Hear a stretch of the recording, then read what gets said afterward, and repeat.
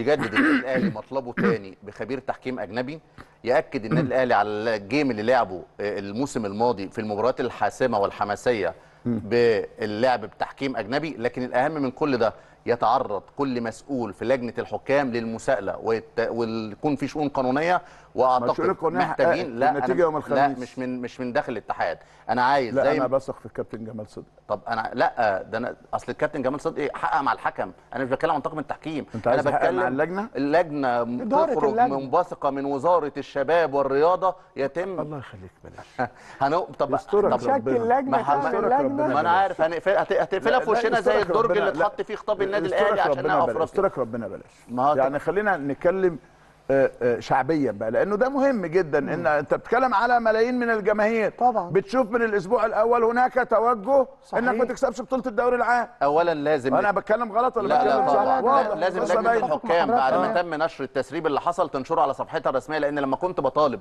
بنشر التسريب يتم نشره على طريقة كلاتنبرج إن في اتحاد محترم وفي صفحة رسمية للاتحاد يتم نشر ما تم في تقنية الفيديو عليها. وتحويل الطاقم مش بس للتحقيق لا أنا وجهة نظري إن كمان الاتحاد يحول إبراهيم نور الدين لأنه طرف في الأزمة يحول السيد مراد لأنه طرف في الأزمة يحول أيضا الكابتن محمد فاروق للتحقيق. يتم التحقيق معاهم إزاي خبر أو تسريب زي ده بيخرج وأنتوا اللي بتتولوا الأزمة؟ لأن أنا مش عارف أكلم مين. التسريب ده طلع بقاله أكتر من 48 ساعة. التسريب ده طلع بقاله أكتر من 48 نعم. ساعة. أنا عارف إن حضرتك ما رضيتش تذيعه. ورفضت تماما هذا الأمر. آه. إنه هذا التسريب يذاع. لأن عشان حضرتك تبقى عارف. لأنه دي مش طبيعتي وأنا بكره موضوع التسريبات ده بكراهية التحريم يعني.